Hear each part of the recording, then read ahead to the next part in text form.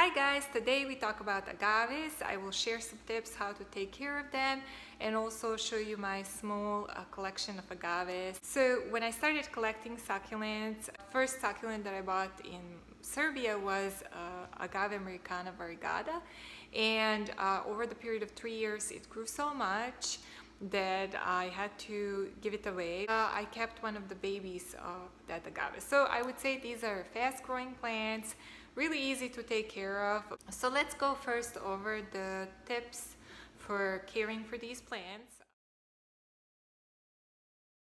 So when it comes to soil, uh, you can pretty much use the same soil mix that you use for other succulents. Uh, they like well-draining soil and like to be dry between the waterings. My uh, soil mix is made with uh, one-third cocoa brick, one-third cactus soil and one-third perlite.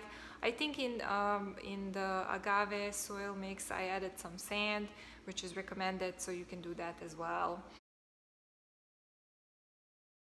Watering uh, once a week uh, would be sufficient. If you go on a vacation and you are gone for like two, three weeks and they're not watered, they'll probably be fine. In my experience, the worst thing that can happen is one of the bottom leaves can become uh, dried up but um, they tend to tolerate really well drought and uh, they like to be dry between the waterings. When it comes to pests, I didn't have really problems with agaves. Uh, they don't get like uh, other succulents problems like with pests like mealybugs and aphids. Um, more known pest that attacks agaves is snout weevil. Uh, I think that's how you say it. It's basically like a worm that um, goes into the base of the plant and uh, lays eggs and then all those worms like eat your plant.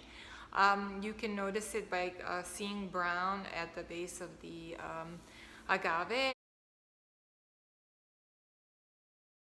When it comes to propagation, after a few years you have them, you will have a lot of babies.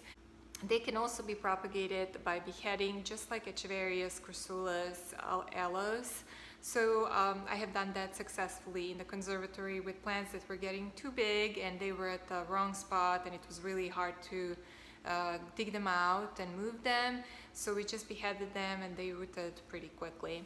During the rooting process, when they're beheaded, make sure that they're well dry, uh, kind of like aloes, that the wound callus or dries up and then uh, occasionally stimulate with a little bit of water before they develop roots and then you can water normally. They usually have really tall blooms. Uh, in some cases conservatories have to even make an opening in the top of the conservatory glass top or the dome uh, because the, the bloom stalk will go so high in the air.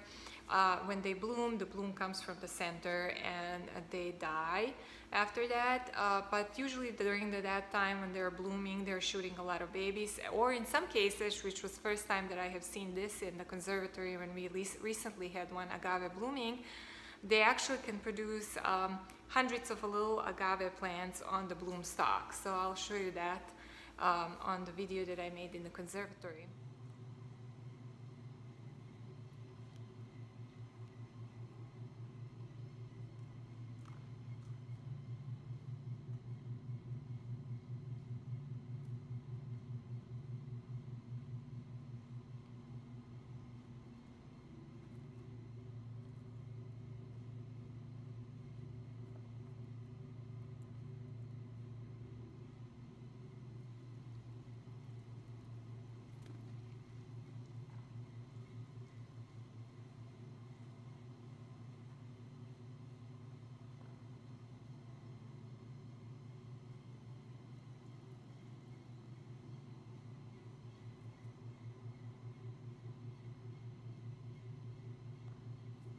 So they're pretty easy to take care of, but what you should have in mind is that they can be uh, dangerous because uh, they're sort of like people that don't want you to get close to them and if you do get close to them you're gonna get hurt. Agaves are pretty unfriendly and hard to manage when they grow in big clusters. Um, they have these needle-like ends tips on the leaves and Uh, probably uh, from all the succulents, I find them hardest to manage, even harder than cactuses because I got the most, uh, you know, pokes and cuts from them when I had to move them. So let's take a look my small collection and see how they're doing outside. I just have five, five agaves, I think. I don't think I forgot anybody. But the first one here is called agave uh, white thread of cascade. It has like a little white threads going around the leaves. Um, it has grown a lot. Um, it was in a small pot like this and I moved it into bigger pot uh, because it was just kind of falling over. Very pokey. this is agave funkiana, fatal attraction, really pretty variegation but uh, has these um, sharp um, teeth edges on the leaves that are like reddish color and reddish tips. So again very pokey. Beautiful agave macroacantha. I have this one in Serbia as well. This one uh, maybe one of my favorites just beautiful.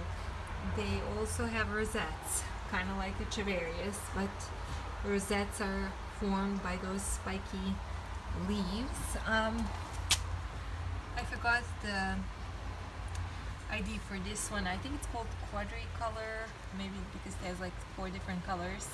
Really pretty variegation. Uh, and here is my Americana, Agave Americana variegata. Uh, since I moved to this new house, this plant, it's been doing wonderful.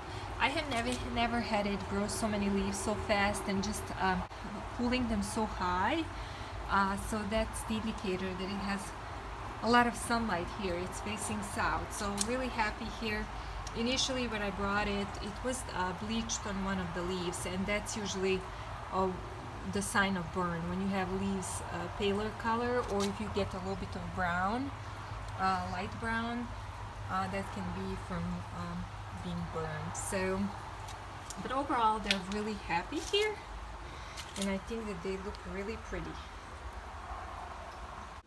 one thing that I forgot to say is that probably from all the succulents that I have I think that they're uh, the most tolerant of lower temperatures. A lot of succulents that I have when it goes below 50s Fahrenheit or below 10 Celsius, they um, may have some kind of damage like euphorbias or crassulas may get they may get the brown spots especially if it's also uh, humid and rainy outside um, unlike those agaves can survive some really low temperatures in conservatory when we had uh, freezing um, that was minus 20 Celsius um, during the probably 12 hour period um, our, all of our Stapelias in that room died, uh, Haworthias, Crassulas, but not agaves. They survived, especially if they're dry. Now, if you have a lot of precipitation, a lot of water, rain, snow, uh, even if you even if they can tolerate some of those colder temperatures, they're gonna get damaged and get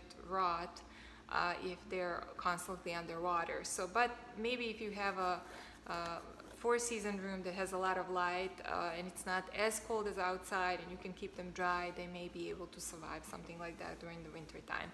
They are opportunistic, uh, just like euphorbias and some other succulents, so um, their dormancy period can be short if you're keeping them indoors and they have a lot of light and warm temperatures and they can start growing even during the late winter time or the late fall. Thank you guys for watching. I hope these tips are going to be helpful to you in taking care of your agaves and see you soon in the next video.